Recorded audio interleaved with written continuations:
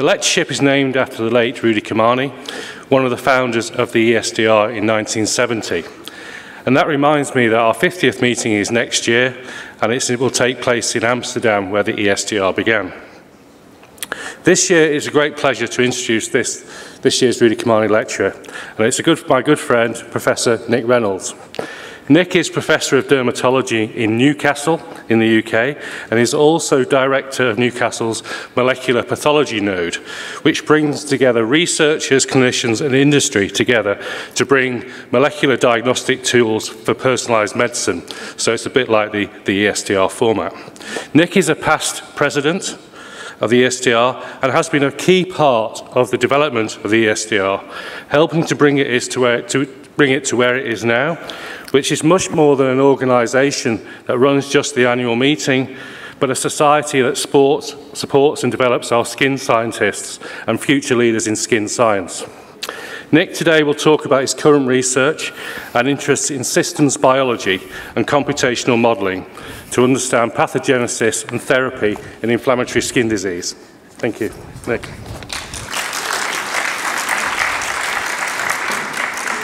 Thank you very much, uh, David. It's a very kind introduction. And I'm indeed deeply honored to be invited to present this year's Rudi Cormane lecture. Whilst I was on the board, I had the opportunity and privilege to work with some fantastic friends and colleagues, both in Europe uh, and further afield through the ISID. And I very much enjoy being part of the ESDR community. And so I'm uh, extremely pleased to be invited to give this lecture today. Uh, Newcastle is famous for its seven bridges which span the Tyne River. And without stretching this analogy too far, as a physician scientist, I do believe that collaboration is crucial. And collaboration is crucial on a number of levels. It's crucial to bring scientists together of different disciplines, to bring individual centers together so we can collaborate, particularly for translational and clinical studies, and increasingly collaboration is international. So societies such as the ESDR play a key role in this bridging exercise. Here are a list of my disclosures. So Rudi Cormane was brought up in the Dutch East Indies, now Indonesia, before studying medicine and dermatology in Holland, where he later became a professor and chair of the renowned department in Amsterdam.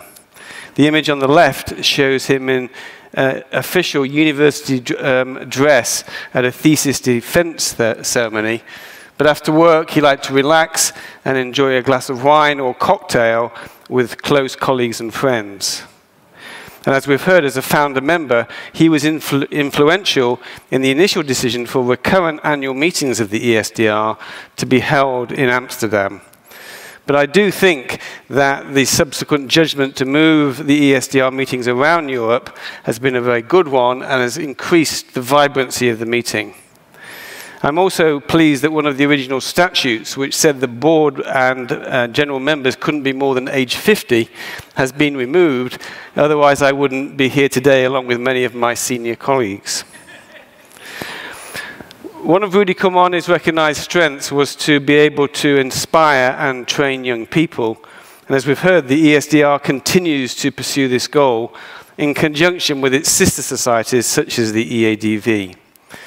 And I was very fortunate to work closely with Erwin Tschachler, highlighted at the back, um, who was at the time a board member of the EADV.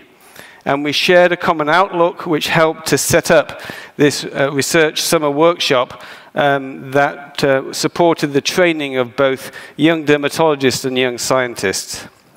Uh, the first meeting was held in Vienna in 2010, and I think you can still recognize Amy Fuchs, who's made important contributions to PSORT, and also Edel O'Toole, who's now on the board.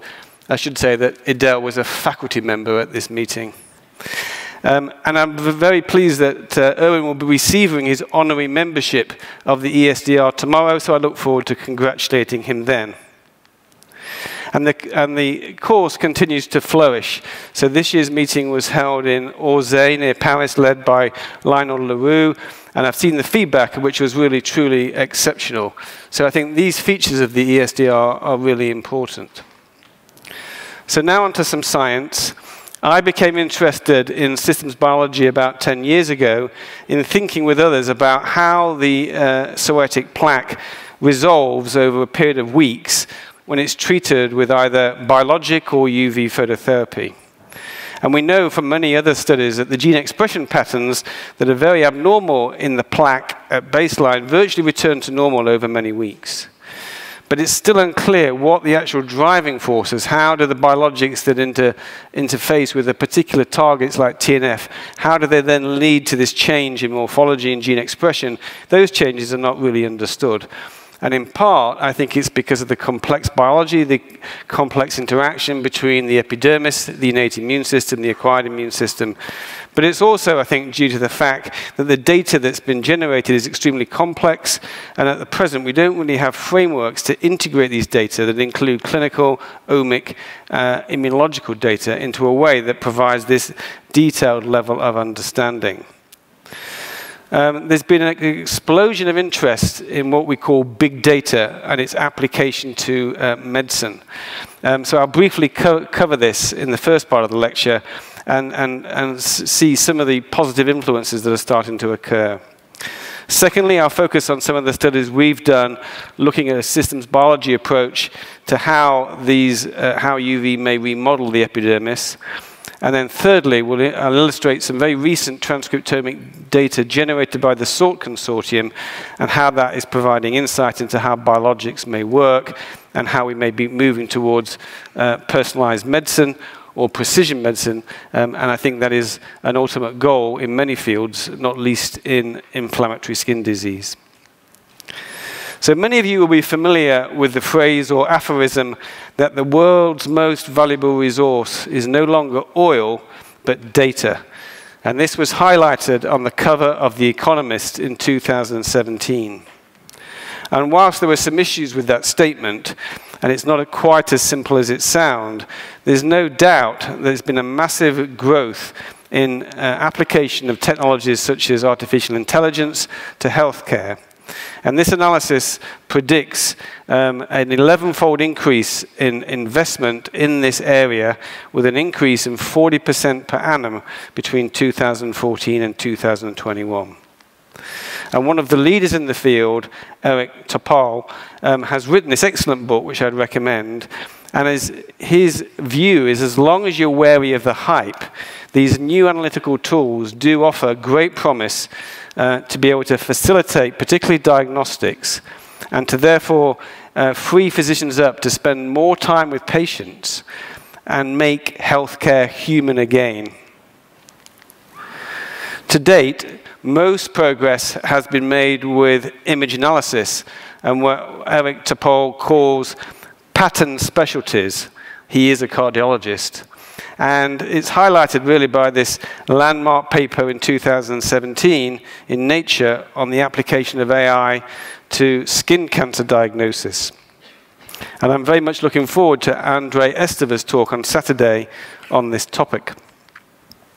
But it can all go wrong, and you may be aware of the fallout from Cambridge Analytica, uh, a political consulting firm that mined uh, Facebook data in a somewhat dubious fashion, and then this was used to uh, influence public opinion during democratic elections. And consequently, it's crucial that the regulatory frameworks are put in place and controls to make sure that the data that we give is consented and, and properly monitored. So with this background, if we step back and really think about uh, the potential utility of systems biology and specifically its application to dermatology.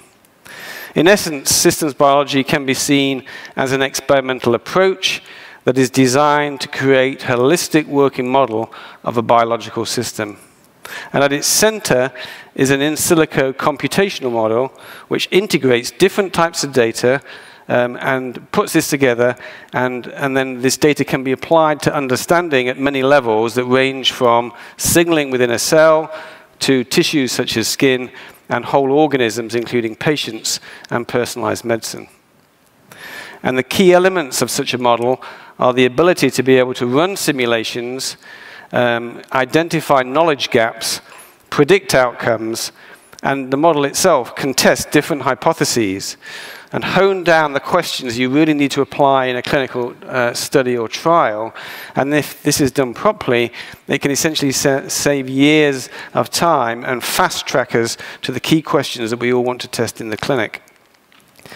And to date, we've used really stochastic and deterministic models in studying psoriatic epidermis, but there is an increasing interest in artificial intelligence and how this may be applied to complex clinical omic data. So stochastic models are well suited to biology because they cover random events, um, and, um, and, and so that is an important part. Each time you run the model, you get a slightly different result. On the other hand, deterministic models are based on average reproducible results and often involve differential equations. The distinctive feature of artificial intelligence is that the model itself structures algorithms and layers the data uh, to create an artificial neural network that can learn from data and further inputs and make predictions that again can be tested. So in collaboration with colleagues from computer science who are listed at the bottom of the slide, we've used stochastic and deterministic models to uh, look at what's going on in normal and psoriatic epidermis. And we've specifically tested the hypothesis that apoptosis may be involved in this remodeling process, um, as, and we've focused on UV for the reasons I'll come to. And more recently, we've run simulations under different conditions that can now incorporate truly individualized patient irradiation regimes, and we're going to be moving towards personalization of therapy. One of the advantages of stochastic modeling is that it provides a spatial as well as quantitative output. And compartments exist within the model, each particular cell there has its own code, and that tells the cell how to behave according to a set of preset instructions which you can vary.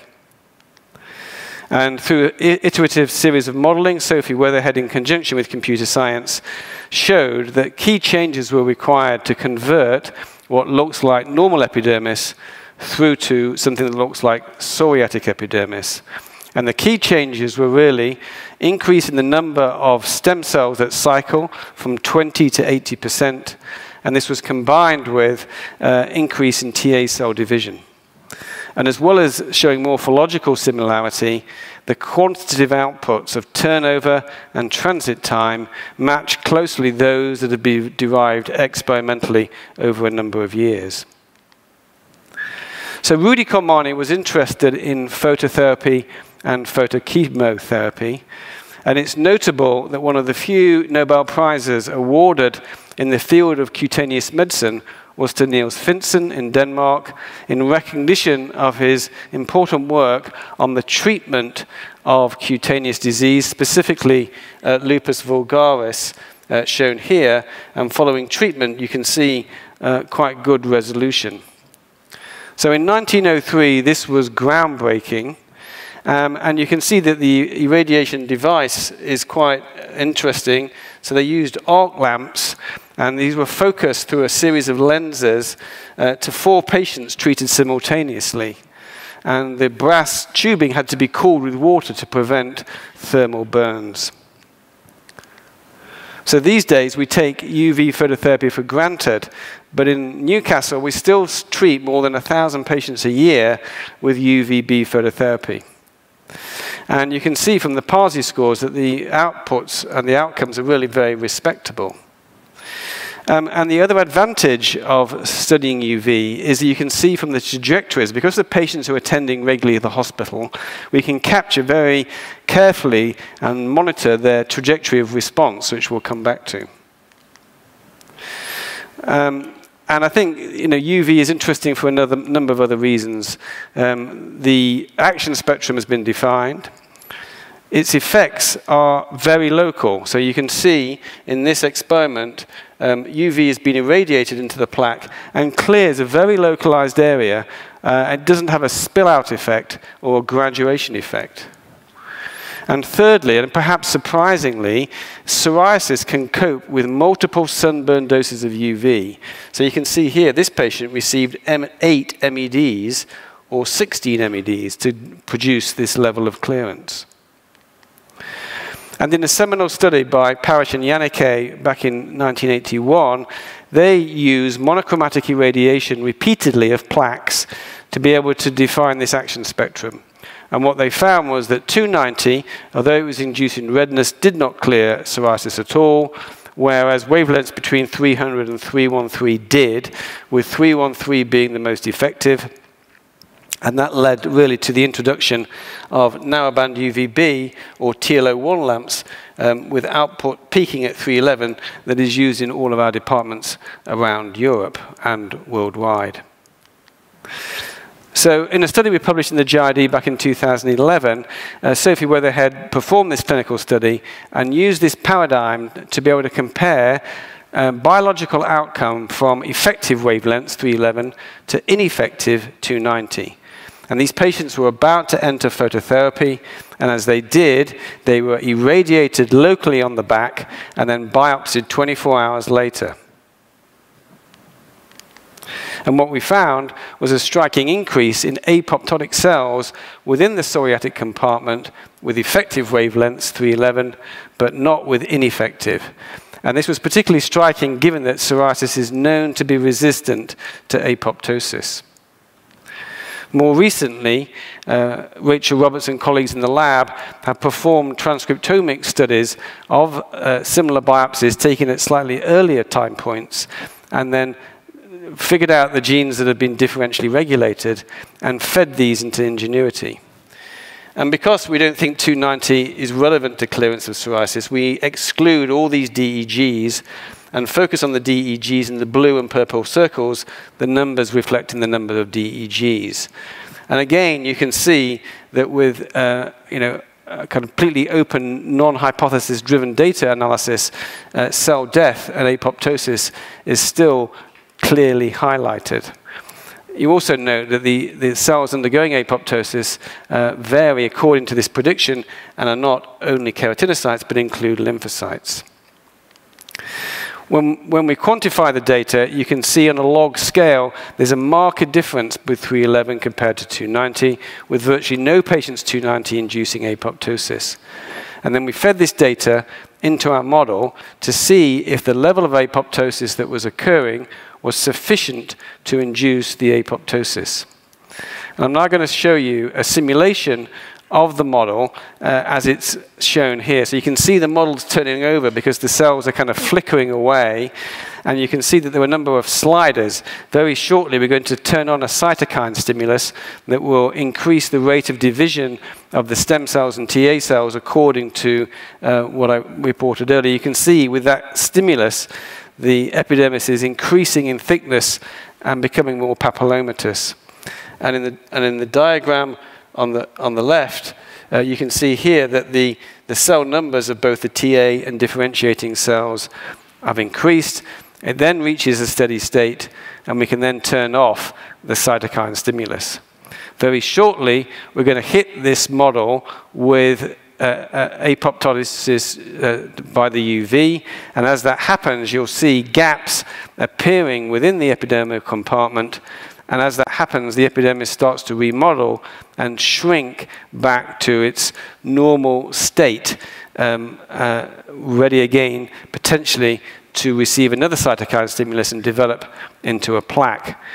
The important thing about these states is that they are stable because uh, in some situations models are unstable, and in which case you know this isn't going to be very useful. And as I mentioned, we can get quantitative outputs from this, so we can study the change in the numbers of cells over the irradiation course. And one of the questions that we asked was whether could we substitute cell growth arrest for apoptosis, and would that lead on to the similar changes that we've just seen? And the answer is it does uh, work, it does lead to remodeling of the epidermis, but there's a significant lag phase such that the, um, with the cell growth arrest, the remodeling doesn't occur until after the last irradiation, which clearly, for the clinicians amongst us, we know isn't what happens to our patients in clinic. So this doesn't seem to be very likely on its own as the key mechanism. So more recently, we've used deterministic models in which we use differential equations to look, introduce new, new cell types, T cells, and to be able to model the different cytokines that are produced both by keratinocytes and T cells, and include a positive feedback loop according to the most recent data derived from transcriptomic studies. And uh, in line with clinical observation, that uh, the first psoriasis visible appears four days after a streptococcal sore throat, you can see that a four-day cytokine stimulus is sufficient to kick the model into action, whereas two days, the model has a little blip, but then settles down. So that isn't sufficient to kick the model into the right state. And the beauty of the of this uh, uh, modeling is that it's much quicker to program and run the model so we can do many more studies than we could with the old model. And so we can include now individual patient doses. So these are real doses that were used by patients during the course, and we can see how this effect uh, uh, on the epidermal compartment, uh, as well as seeing how it affects the apoptosis rate. And so in this um, uh, slide, we've shown real patient data, PASI scores in red triangles. We've fed that patient's data, including their UV radiation data, into our model. And you can see there's a very close approximation between our black model line and the clinical time course of resolution with the PASI scores. Now, from the studies that we've done in the clinic, it's clear that not all patients clear perfectly during treatment. Some people may have a flare halfway through. I think we all recognize that. Um, and so this is a patient who's had a flare. The question is, why have they had a flare? Is it that the UV has stopped working, or what? So we tested whether providing a secondary immune stimulus at this particular time would account for the pattern of the flare, and that did appear to be the case. And uh, very recently, we've generated data to be able to model potential changes to individual patient irradiation regimes based on this modeling. So you can see this patient's had a, flare quite quickly into the treatment course um, with um, a flare here, and then gradually improves, but doesn't completely clear at the end of the course, and our model predicts they're likely to, to um, flare up shortly afterwards. So this is the usual course, three times a week of UVB phototherapy. If in close proximity to the flare, we increase the frequency to five times a week, we can settle down this patient um, in the model. And so we're now in a position to go and test this in the clinic. So to summarize this section of the talk, I hope I've illustrated the utility of agent-based and deterministic models of psoriasis epidermis and that these have allowed us to uh, simulate and make predictions about clinical outcomes as patients go through the UV phototherapy. We've definitely uh, identified some knowledge gaps, and we've started to uh, be in a position where we can apply these in a personalized regime. Which leads nicely on to the final section of my talk, which further underscores the importance of collaboration in developing a uh, a stratified medicine approach to biologic therapy in psoriasis. So the PSORT consortium uh, represent a multidisciplinary consortium led by Chris Griffiths, University of Manchester, that brings together a number of academic and clinical departments around the UK um, and is collaborative with 10 life science companies that include pharma as well as diagnostic companies and is funded by the MRC. Its principal aims are to investigate disease and drug endotype, to be able to derive scalable, clinically relevant biomarkers that will stratify response to biologic therapy. And we're also aiming to gain greater understanding about the pathogenesis and the mechanisms involved in this remodeling of the plaque that clearly occurs with biologic treatments. So this schematic um, highlights the um, patient flow and sampling times in the PSORT discovery cohort. These were appropriately powered to ensure we had enough patients in each group. So we've got 41 patients in the adalimumab group and 41 in the ustekinumab group. So these patients in real life, they're starting treatment in the clinic, and before they start, we perform baseline sampling of involved and uninvolved skin, and we take further skin biopsies at week 1 and week 12. Blood samples are taken at all different time points, and uh, the blood analysis is done in parallel, but I'm not going to discuss that for the sake of time today. But in the end, we are aiming for full data integration. So this is a heat map, uh, which is a little bit complicated, so I'll take you through the slide. But essentially, what we've done is look at genes at individual time points, that's 0, week 1, and week 12, and associated these with clinical response at week 12, which is measured as the change in PASI score between week 1 and week 12, delta PASI. So in other words, we're looking for genes at baseline, potentially, that would predict outcome 12 weeks later, which we can imagine would be very useful in the clinic. Um, and when we compare the two drugs, you can see that many of the pathways that have been pulled out by the upstream IPA analysis are very similar, but there are also some ones that show striking differences, and one of them is interferon.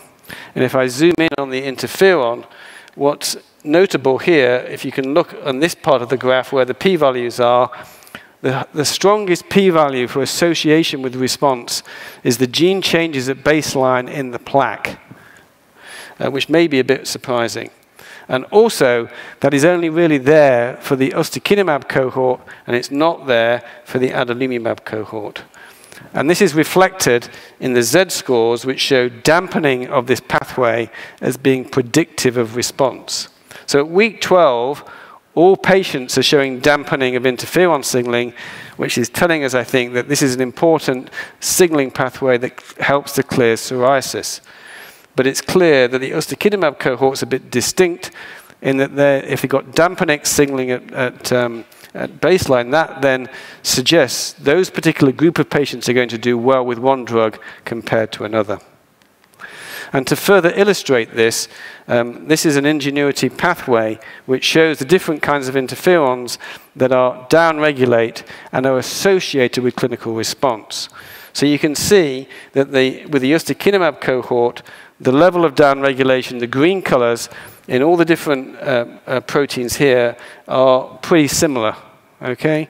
Whereas if you look at the adalimumab cohort, you can see there's no green at baseline at all, but the green appears and is markedly there at week 12, where it's very similar to the ustekinumab uh, cohort.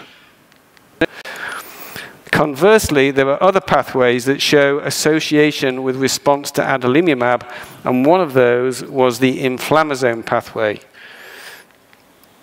And again, if we zoom in on that, you can see that the highest p-value is for adalimumab at baseline, and that this is dampened again and, and this then uh, remains dampened, whereas the ustekinumab cohort is not dampened at baseline, but is dampened as you get to week 12. So bringing this all together, it's clear that there is a very complicated relationship between drug endotype and disease endotype. So we know that the drugs block specific molecules, and they seem to influence differentially um, and even are primed to do so from baseline, the interferon and the inflammasome signaling. And then we're starting to consider what are the downstream pathways that mediate the plaque clearance that leads it to completely go over a period of weeks. And to do so, we don't think we're going to get the answer only from transcriptomics, but we're going to integrate genetic, um, other omic data, as well as drug level data, because if you've got no drug in the system, it's unlikely going to clear and also the clinical response characteristics, which we think are very important. So to conclude, um, I think we live in a data-driven era, which some have termed the third industrial revolution. And I strongly believe that a computational modeling approach combined with appropriately powered, carefully done clinical studies uh, will take us into a new era of personalized and precision medicine. But for this to succeed, as a community, we need to work together and develop and champion academic industrial partnerships and international collaborative networks which I think the ESDR is all about. And I'd like to close with a quote from Charles Darwin, which I think is pertinent to this, which says, it is the long history of humankind that those who learn to collaborate and improvise most effectively have prevailed. And of course, in these collaborative studies, um, they represent an enormous amount of input from all the individuals listed here and many others who there isn't uh, a room to fit on the slide. And B, I can find the named individuals to those directly contributing to the studies that I've presented today. So thank you for your attention.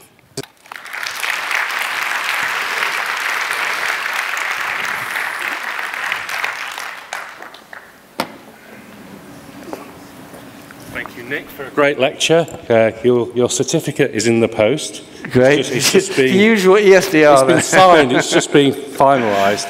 Uh, as usual with this lecture, Nick will not take questions from the podium, but I'm sure he's happy to take questions yeah, during the poster yeah, Yeah, fine. Okay, okay thank, thank you. you Nick.